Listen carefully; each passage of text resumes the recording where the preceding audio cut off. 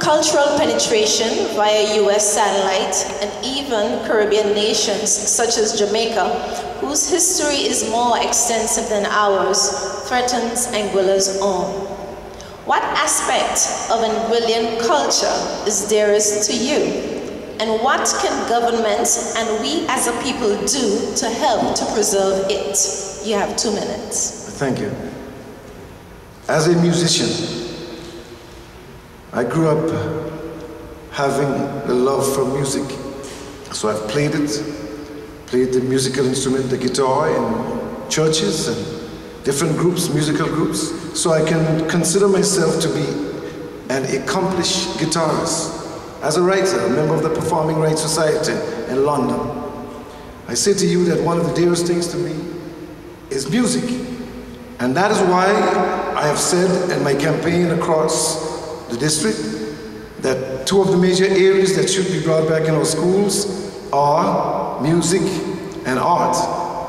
Because music has this dynamic effect on people. It is, a, it is an exchange, it's a way of communicating ideas. So I would hold that as my preference in terms of culture. Thank you. Ms. Webster, and how about you?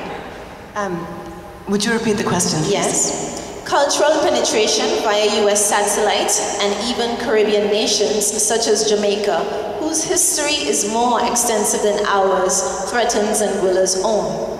What aspect of Anguillan culture is dearest to you, and what can government and we as a people do to help to preserve it?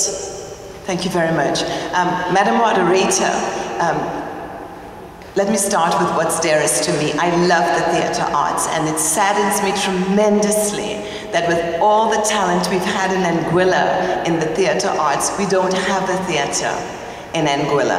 And I think government can start by creating a theater.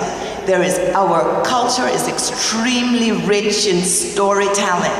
That is how we preserve and allow for the transmission of our heritage, the stories with our families, with our grandparents, the reenactment of the revolution, the reenactment of the personalities.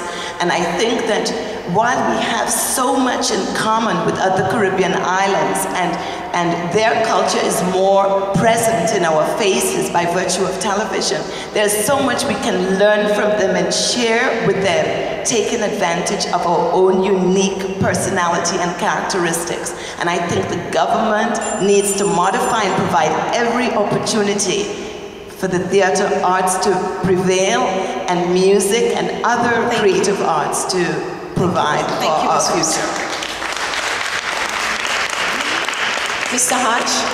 I, I, we are not going to stop the, um, the advance of the American culture, but we can, we can work to ensure that our own culture doesn't disappear uh, or disappear completely. It is a key part of my platform that the performing arts must be bolstered in Anguilla. We have no facility for the performing arts in Anguilla. We have no theater. We're using the Rutherford Auditorium, which is not suited for the purpose. We have no cinema, which is not, which is, will bring in foreign culture. But the beauty of having cinematic facilities is that our schools can teach video production and we can then produce local, uh, make do local productions on video for showing in our cinemas. We have to we have to see to it that our people enjoy themselves watching local productions while at the same time they enjoy themselves watching American and other uh, and productions from other cultures. Thank you, Mr. Hodge.